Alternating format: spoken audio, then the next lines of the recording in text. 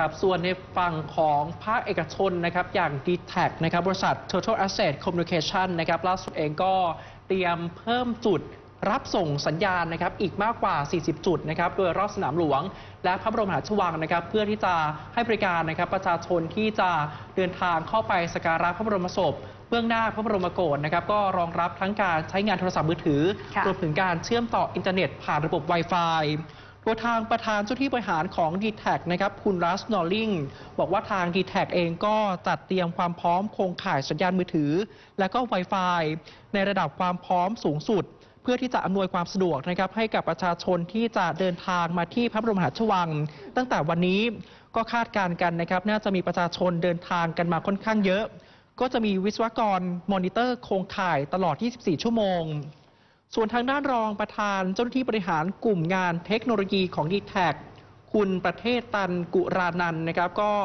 บอกว่าจากการตรวจสอบข้อมูลในช่วงที่ผ่านมานะครับ มียอดผู้ใช้งาน Data ของ d t แทเพิ่มมากขึ้นถึง 300%เมื่อไปเปรียบเทียบกับช่วงปกติ โดยการใช้งานสูงสุดนะครับก็คือช่วงเที่ยงถึงบ่าย 2 โมง โดยทาง d t แทนะครับจึงวางแผนจัดรถโมบายสีคันค่ะพร้อมเพิ่มจุดรับส่งสัญญาณโทรศัพท์มือถือ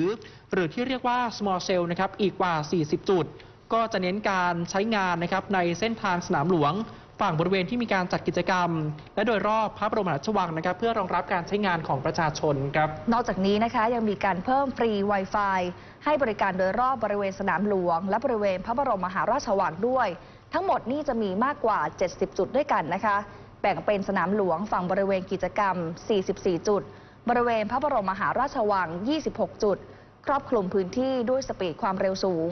โดยจะเปิดให้บริการตั้งแต่วันนี้จนถึง 31 ธันวาคม